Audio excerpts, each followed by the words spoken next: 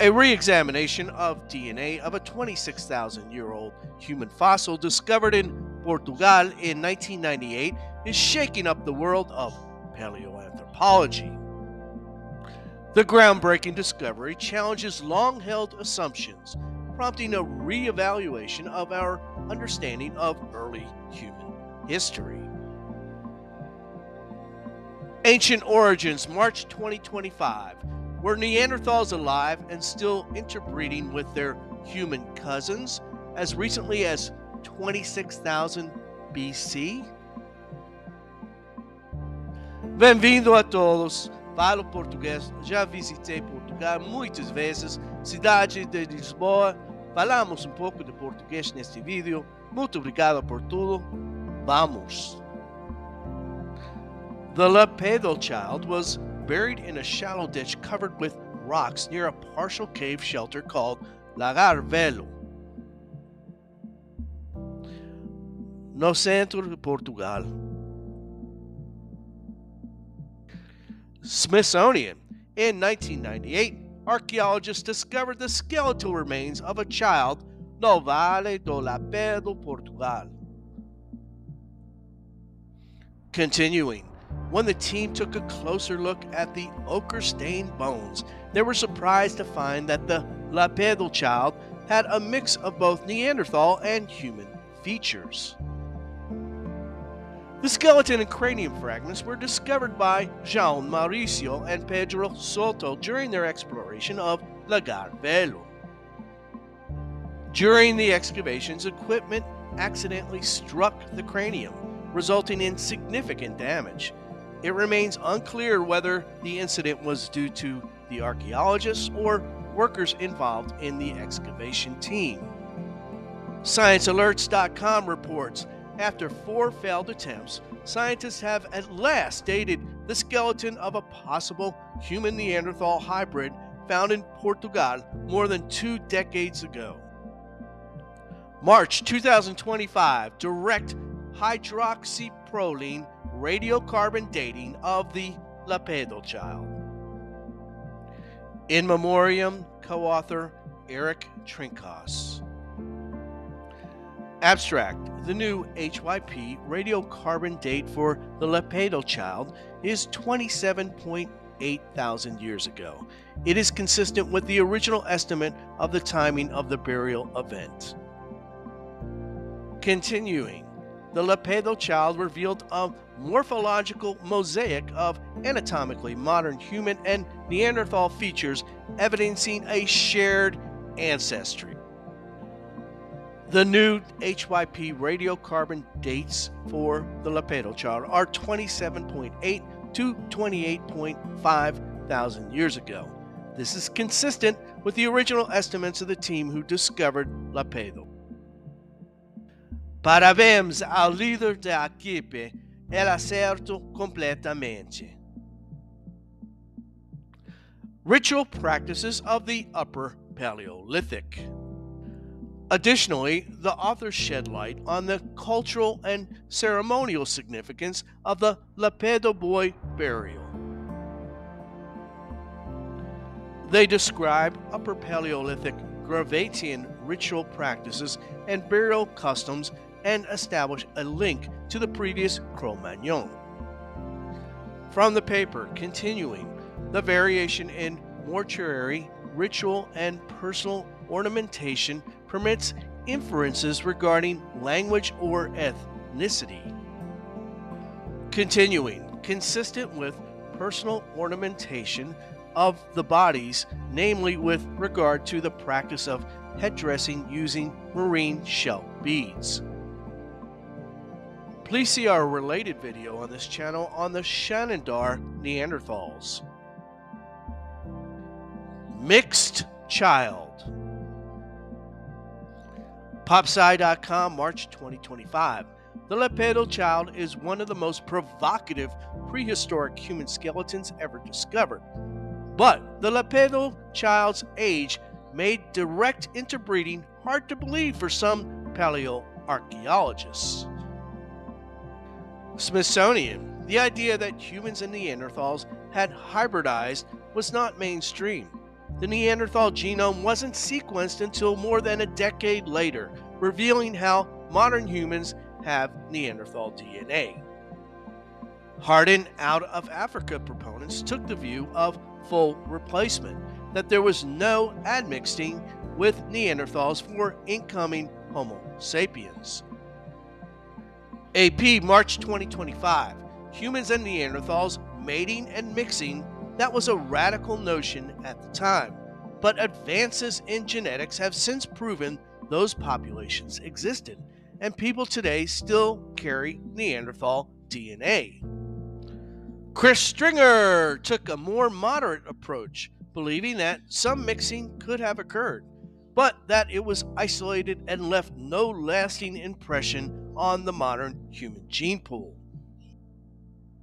Of course, Stringer was forced to revise his remarks later when Svante Pääbo and his team confirmed Neanderthal DNA. A draft sequence of the Neanderthal genome, 2010. Stringer proved to be a good sport on that. He now often chuckles in lectures and interviews, quote unquote, well, I got that one wrong. But other out of Africanists, till this day, have not admitted to their mistake. During this time, there were a few voices in the wilderness, maverick anthropologists who claimed that the evidence hinted at Neanderthal and Homo sapien introgression. Professor Eric Trinkaus, considered one of the world's most influential scholars of Neanderthal evolution, was a vocal proponent in the early 2000s of the idea that Neanderthals contributed to the gene pool of modern humans. Alan Templeton, a geneticist also at Washington University in St. Louis, used statistical methods to challenge the strict out of Africa model suggesting that there was genetic exchange between archaic and modern human populations. Michael Hammer, a geneticist from Arizona State University, conducted two studies in the early 2000s suggesting that modern humans interbred with archaic hominins, including Neanderthals. Neanderthal traits in modern humans. The handful of anthropologists who argued for admixture from Neanderthals took that stance largely based on the morphology of the Lapedo boy. For example, the boy had Neanderthal like shorter lower limbs and a prominent brow ridge. ArchaeologyMag.com The anatomical features a blend of Neanderthal stockiness and modern human traits such as a prominent chin quickly ignited discussions about interbreeding between these two human lineages. Science Alert Years before scientists sequenced the full Neanderthal genome, this skeleton, the Lapedo boy, was the one big clue we had that our ancestors were mating and mixing with their closest human relatives. Continuing, for more than 10,000 years, outward Neanderthal features persisted in the human lineage. Latent genes? Science alert continuing. Lapedo shows how strong the influx of Neanderthal genes into the human lineage might have been. Paper 1990 Moody Bastin Genetics Journal The Evolution of Latent Genes. We define latent genes as phenotypically silent DNA sequences which may be reactivated by various genetic mechanisms.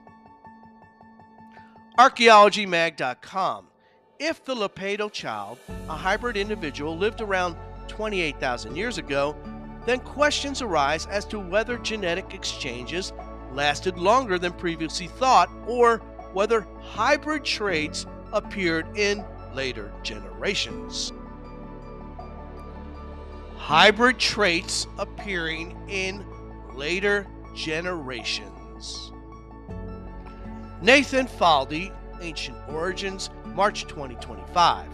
If the Lapedo child, a hybrid individual, lived around 28,000 years ago, then questions arise did the hybrid traits appear in later generations, popping up out of the human gene pool randomly from time to time?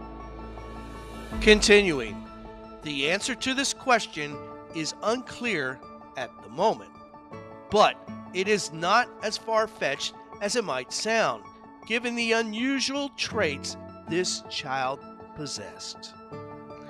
The enduring Neanderthals, survival beyond expectations. Clive Finlayson is the leading expert on the Gibraltar Neanderthals, previously believed to be the last remaining Neanderthal tribe. For reference, Gibraltar is the British enclave on the southern tip of Spain.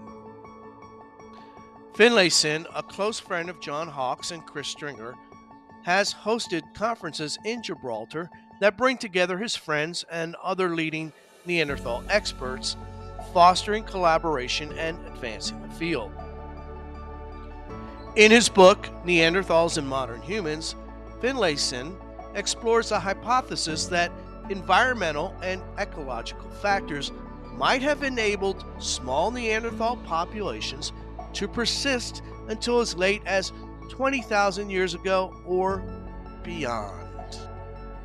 The recent radiocarbon analysis dating of the Lapedo boy, placing him between 27,000 and 28,000 years ago, lends weight to Finlayson's hypothesis about Neanderthals surviving in isolated pockets. New Neanderthal discovery in France. Bienvenue à toutes les personnes, je suis ravi vers votre connaissance. Nous parlons un peu de français dans cette vidéo, allons-y encore. Professor Ludovic Slimak's remarkable discovery of a previously unknown Neanderthal subspecies named thorin further supports Finlayson's hypothesis about the survival of isolated Neanderthal populations. J.R.R. Tolkien's The Hobbit. Smithsonian, nicknamed Thorin after a dwarf character from J.R.R. Tolkien's The Hobbit. The 2023 paper, authored by Slimak in collaboration with his wife, professional archer and researcher Laura Metz, along with other esteemed colleagues, unveiled groundbreaking conclusions that challenge previous assumptions. Long genetic and social isolation in Neanderthals. Thorin is not directly related to other Neanderthal subspecies such as Mezmaiskaya and Vindija further to the east. Smithsonian. A new analysis of Thorin's ancient DNA suggests he belonged to a previously unknown lineage of Neanderthals that was isolated for 50,000 years, a small group who lived between 42,000 and 50,000 years ago. And another surprising find. Slimak's paper, Thorin was most closely related to the Forbes Quarry individual from Gibraltar. Lapedo Boy, Thorin, and Gibraltar Neanderthal. Could the Lapedo Boy belong to the same Neanderthal subclade as those found in Gibraltar and Grotte Mandrin? C'est une grande possibilité, non? Cultural link among Southern European Neanderthals. The Gibraltar Neanderthals, as Finlayson and others have suggested, likely led a very aquatic lifestyle. Similarly, Thorin of Grotte Mandrin has been referred to by Slimak as the Mediterranean Neanderthal.